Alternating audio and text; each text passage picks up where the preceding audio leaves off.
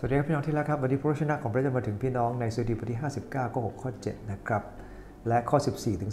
15 ผมให้หัวข้อวันนี้ว่าศัตรูที่โอหังนะครับผมอยากจะอ่านจากพระคัมภีร์ตรงนี้บอกว่า เขากลับมาทุกเย็นหอนอย่างสุนัขและตะเวนไปทั่วนคร เขาอยู่ที่นั่นอย่างไรล่ะปากของเขาพ่นอยู่ และมีดาบที่ริมฝีปากของมัน เพราะมันคิดว่าใครจะฟังเรา ข้อ 14 บอกว่าเขากลับมาทุกเย็นหอนอย่างสุนัข และตะเวนไปทั่วนคร เขาไปเที่ยวหาอาหาร ถ้ามิได้กินอิ่มก็ขู่คำราม อธิษฐานด้วยกันครับข้าแต่พระเจ้าของคุณพระองค์เจ้าที่พระชนะของพระองค์คำให้ของหลายมั่นใจว่าศัตรูที่เข้ามาทำร้ายในบางครั้งก็ดูน่ากลัวมาก แต่ขอบคุณพระองค์เจ้าที่คำหลายเข้าใจถึงลักษณะเหล่านั้นแล้ว ก็ยังเข้าใจว่าพระเจ้าจะเป็นผู้ปกป้องเขาทั้งหลาย แม้ศัตรูจะดูน่ากลัวเพียงไร อธิษฐานในนามพระเยซูคริสต์เจ้าอาเมน ตอนนี้ได้พูดถึงเรื่องของลักษณะของศัตรู ดาวิดมักจะกล่าวแบบนี้เสมอนะฮะ ถ้าสังเกตวิธีการเขียนของดาวิด ดาวิดมักจะกล่าวถึงการขอการช่วยกู้จากพระเจ้า ขณะเดียวกันจะอธิบายถึงลักษณะของศัตรูที่ทำร้ายท่าน ในเรื่องนี้เป็นอย่างนี้ ในเรื่องนี้เป็นอย่างนี้ เพราะศัตรูทำร้ายท่านไม่ใช่ตอนเดียวหลายตอนด้วยกัน และทุกครั้งอย่างตอนนี้ก็เป็นตอนที่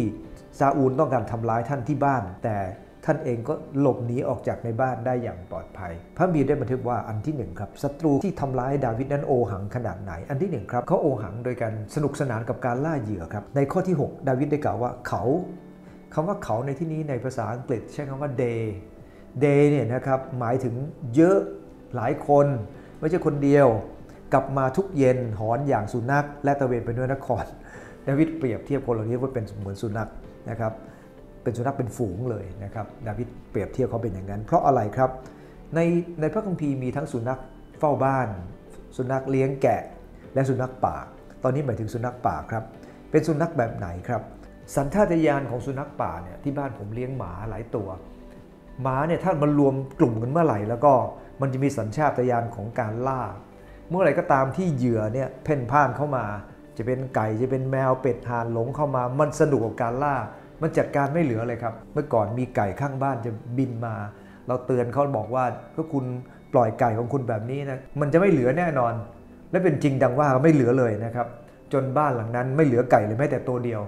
แล้วก็ไม่รู้เป็นไรนะครับ มันชอบบินเข้ามาในบ้านนี้นะครับ บินเข้ามาเพราะว่าอากาศบรรยากาศอาจจะดีนะครับ แต่ว่านั่นแหละครับบรรยากาศดีแต่ว่า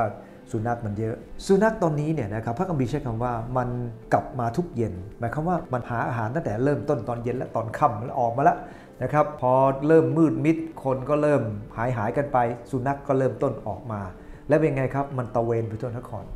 นี่คือสิ่งที่ดาวิดกำลังบอกว่ามันสุดสนานครับคนเหล่านี้เป็นสันดานของเขาที่สนุกสนานกับการไปดินทาคนอื่น พูดทำร้ายคนอื่น หาเรื่องจัดการคนนั้นคนนี้คนนู้น มันเป็นชีวิตประจำวันของพวกเขานะครับขอบคุณพระเจ้า ดาวิดเองมองว่าพวกเขาเหมือนสุนัขที่หูโหย ล่าเหยื่อไม่หยุด พระคัมภีร์ในข้อที่ 15 ยังบอกว่า มันจะเห่าหอนทั้งคืนถ้าไม่อิ่ม ถ้ายังรู้สึกไม่ได้ทำบาป จะต้องทำต่อไปครับ อันที่2ครับ ฟันแหลมคมของมันคือคำพูด พระคัมภีร์บอกว่า เขาอยู่ที่นี่อย่างไรล่ะ ปากของเขาก็ยังพ่นอยู่ มีดาบที่ริมฝีปากของมันมันคำว่าไงครับ คนเหล่านี้ก็ใช้คำพูดครับ เป็นคำพูดที่จัดการกับดาวิด แต่ขอบคุณพระเจ้า ดาวิดเองก็ฝากกับพระเจ้าตลอดในข้อที่ 1 ถึงข้อที่ 5 อันที่ 3 ครับ จิตสำนึกของคนเหล่านั้นไม่ตระหนักว่ามีพระเจ้า ตอนนี้ได้บอกว่า เพราะมันก็คือพวกสุนัขเหล่านี้นะครับ คิดว่าใครจะฟังเรา ใครจะได้ยินเรานะครับ ในพระคัมภีร์ตรงนี้หมายความว่าคนเหล่านี้ไม่คิดว่ามีพระเจ้าได้ยินและเองเขาก็ทำลงไป มีหลายคนคิดว่าตัวเองหาที่เงียบ นินทาชาวบ้านชาวเมืองเขา หรือพูดทำร้ายเขา จับกลุ่มกันทำร้ายคนคิดว่าพระเจ้าไม่รู้หรอครับ ดังนั้นเองคนเหล่านั้นไม่ตระหนักว่ามีพระเจ้า วันนี้ดูน้ำใจเราว่า หลายคนทำร้ายเรา แต่เราอย่าทำร้ายใครเขาสุขสนานกับการล่าเหยื่อ ขอให้เราสนุกสนานกับการให้กำลังใจ เขาใช้ฟันแหลมคมทำร้ายคน ขอให้เราใช้คำพูดเป็นการให้กำลังใจ เขาตระหนักว่าไม่มีพระเจ้า แต่เราจะสรรเสริญพระเจ้าตลอดเวลา และนั่นคือวิถีของคนของพระเจ้าอธิษฐานกันครับข้าแต่พระเจ้า ขอพระองค์เจ้าโปรดนำพาใหญ่ข้างหลายหลงทางอยู่ในคริสตจักรของพระเจ้า โดยลืมไปว่าเราเองนั้นเป็นบุคคลที่พระเจ้าทรงแต่งตั้งไว้เพื่อสิ่งที่ชอบทำขอพระองค์เจ้าใหญ่ข้างหลายเป็นเหมือนสุนัขเหล่านั้นที่คอยทำร้ายคนอื่น จะไม่ใช้คำพูดเป็นฟันแหลมคมที่ทำร้ายเขา จะตระหนักอยู่เสมอว่าพระองค์ทรงเฝ้ามองเขาหลายอยู่เสมอ อธิษฐานในนามพระเยซูคริสต์เจ้าอาเมนเชิญครั